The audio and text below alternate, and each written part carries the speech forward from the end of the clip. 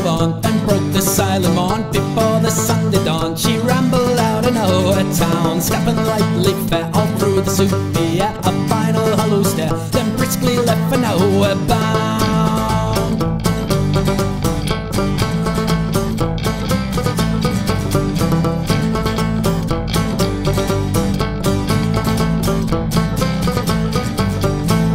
what she could carry, little time to tarry. I would rather perish than be forced to stay here married. A mean and wicked husband, bitter taste of scorn, battered, jilted, hapless. So I left him lying tattered, torn.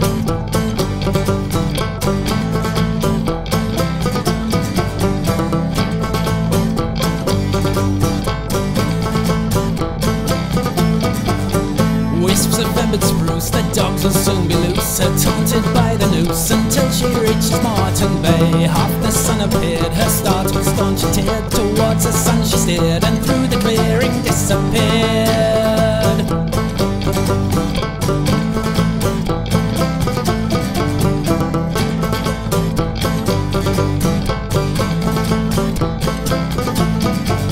A who cried for want, then broke the silent morn before the sun did dawn. She ran